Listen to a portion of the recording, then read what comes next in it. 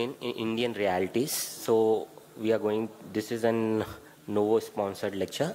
So we are, will be talking about what is the difference between Indian versus the Western counterpart and what innovation will help us and what are the real world data on this. So we Indians are obviously different from the Western counterparts. If you'll see here, this is from the uh, review and here you will see that microvascular complication, nephropathy, retinopathy, we have higher, but peripheral neuropathy we have lower. That is because of our lower height and the vascular disease we have higher cardiovascular with a lower peripheral vascular disease.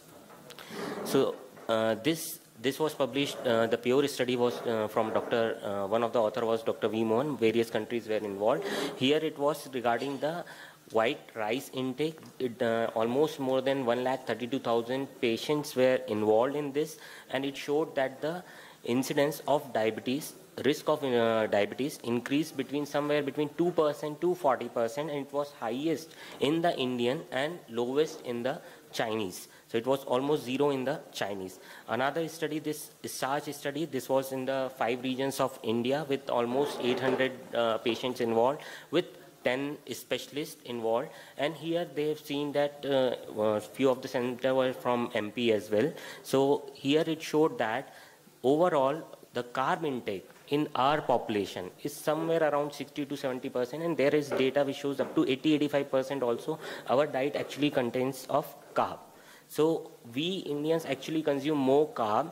That's the problem, and that is why this PPG, that postprandial rise, is much higher, and we may not be that benefited with just initiation of a basal insulin. That is how we came with this co-formulation thing. Okay, and this study. Uh, everybody of you must have seen the Monnier site, which showed that the higher HbA1c, when you go beyond 9%, all those, it's the fasting which actually impacts more the HbA1c and there is a study which shows that lower uh, it lower end it's the pp which influences more. But here you will see in this is from the asian population. Here you will see it, this is actually uh, from the china taiwan study.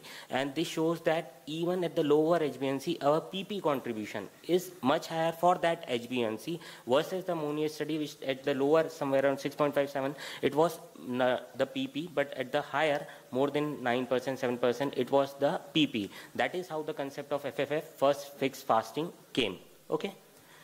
So this is about the Indian realities, high carb intake. I've already told you, we Asian phenotypes have a initially like a decade earlier we have diabetes, we have complication. A decade earlier our waist hip ratio is higher, visceral obesity is higher, insulin resistance is higher, okay? And delayed in insulin therapy, I believe that's almost a problem here because of the inertia by the patient as well as the doctors because they are not very confident to start. And let's not talk about just initiation. It's about the titration and intensification. So almost that also is delayed. If you see the data, almost like one in four patient actually, or one in three patient actually have a good glycemic control in India. All those studies are there. Our average HbA1c is somewhere between 8 to 9%. And even those patients who are on insulin, only one fourth of them actually have a good glycemic control. That means that well within the target for most of our uh, population, it would be less than 7% HbA1c. So we have these problems. We have high carb diet, high PPG levels, and patients on multiple drugs is still not, there's inertia to initiate insulin, and we need those insulin which are very simple and convenient to up titrate. That is also important. Not only to initiate, up titrate is also something we needed. So what the guideline says, if you see the guideline ACE, ADA and IDF, all says that you have to initiate with the basal insulin. Initially, or the earlier version said that you can initiate with the premix, but when you come to this RSSDI ESI consensus 2019, here you will see you can initiate with a basal or a premix, both are okay. So the basic of initiation, either you can initiate with a basal you can initiate with a premix or you can initiate with a basal bolus. Everyone has its own advantage and its own demerit. If you see this basal bolus, it mimics the physiology. That is obviously the best thing. You will have a better control, but the patient, it is not that convenient. You will need multiple pricks. Also, the patient will have more hypos. Whereas basal, the best part is once daily injection, very simple, very less hypo, and very easy to titrate. Whereas this premix is somewhere between these two. You will have some advantage of the basal, some advantage of the basal bolus, and some demerits of the basal. Like uh, you cannot too much up titrate above 0.5 you will have more nocturnal hypos and the pp's won't be much controlled with that so premix fits somewhere between this and this is actually very easy especially like most of our population who don't have access to super specialists for them it is really easy to initiate and up titrate the premix okay so this is two-in-one solution. We know about this degludec, we know about the spacer, and we know all those things that there's a fatty acid chain and all those. Then the it's almost peakless. The half-life is more than 24 hours, and the aspart we know that the B28 is changed, all those things. It's a short acting, very rapid, fast, all those things. But the important thing here that if you see, most of us actually initiate with a glargine, but that glargine cannot be co-formulated with the other insulin because of the pH, because of the acidic pH of the glargine. But here this degludec can actually be combined with aspart and given as a single injection. Okay, so here we can just skip all those sides. We are already running late. So if you'll see here, uh, the that prandial peak that would be controlled by the insulin aspart whereas this degludec will act as a basal insulin. And here you can initiate with a single prick or a twice a prick. And most important thing is the convenience to the patient that he can change this also. Let's say i have uh, special like I have a dinner today at some of my friend's place and usually I inject my insulin in afternoon. So even I can switch that insulin from afternoon to night without taking that afternoon insulin. So that flexibility is actually given by this. That flexibility you cannot have with other premix. So that is really important. Okay, so this is about uh, study. This is phase 3 trial from uh, Japan and here almost 300 patients insulin naive were taken 150 in both arm u100 glargine versus IDeg aspart 150 patients. Both you will see here that the fasting was equally controlled. Actually that is how they titrated the insulin so i don't need to say that that the fasting was not different but important thing there was non-significant difference between these two between the hypos nocturnal hypos, weight gain, and total daily dose of insulin. When you'll see the HbA1c reduction, it was higher in the IDEC part versus the basal insulin, uh, that's glargine.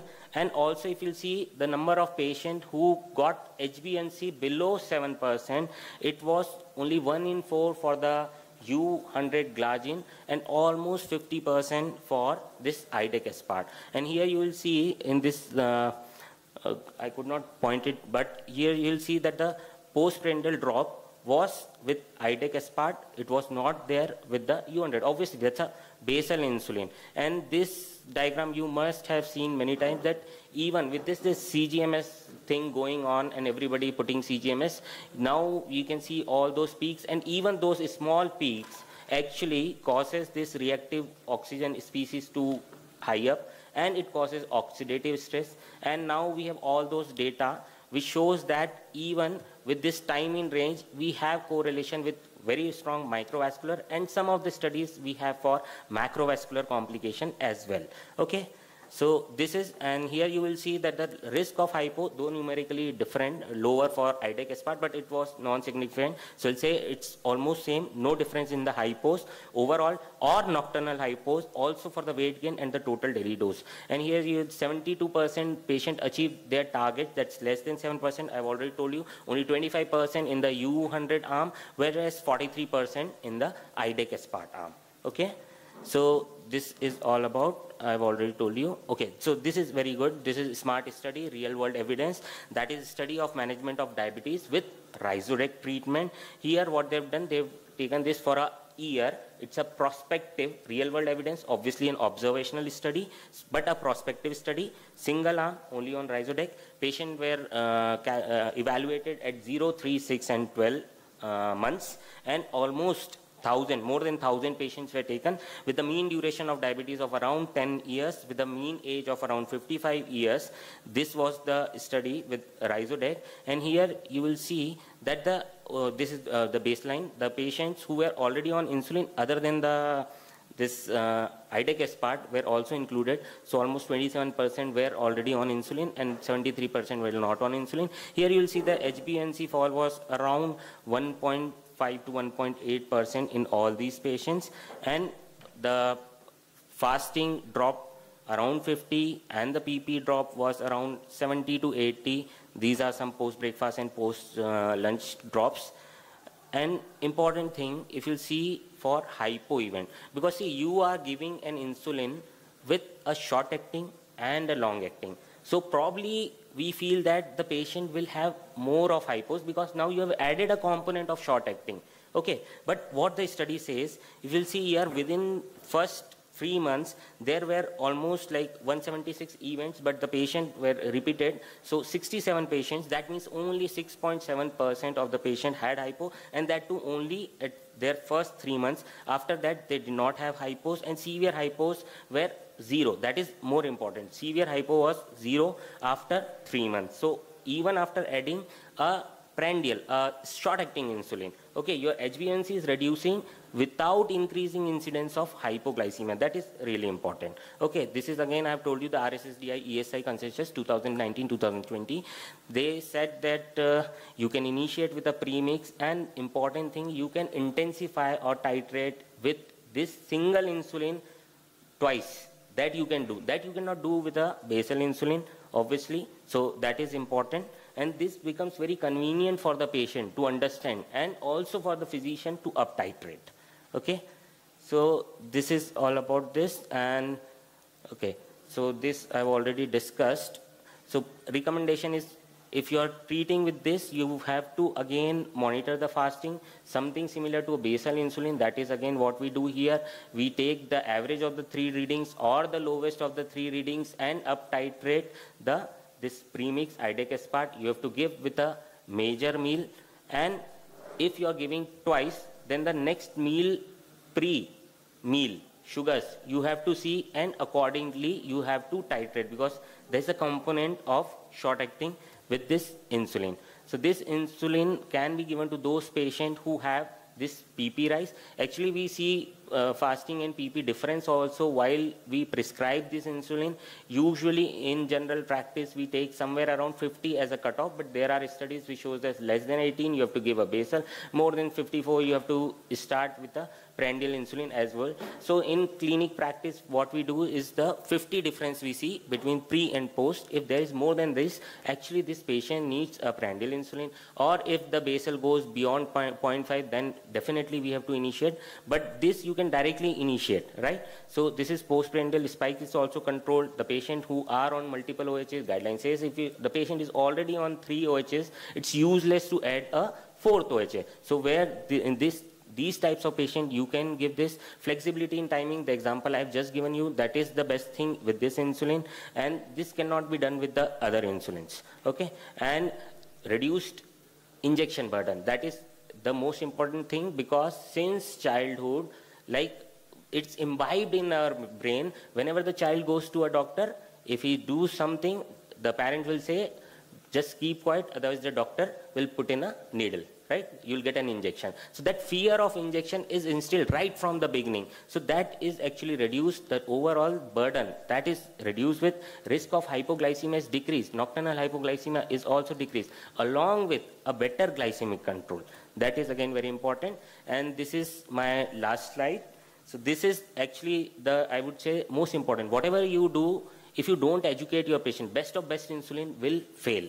That's the most important thing. You have to tell your patient about the dose, type, and syringe, 40, 100 technique, rotation, storage site, needle, times with meal, how to do it, how much to wait, how much to take, how to adjust, what are the sugars, how much to increase. So all those things are actually important. The most important thing is hypoglycemia that needs to be discussed not only with the patients who are on insulin, those patients who are on OHA as well should be discussed regarding hypoglycemia. So this is what I do. I made a YouTube video. I put it there.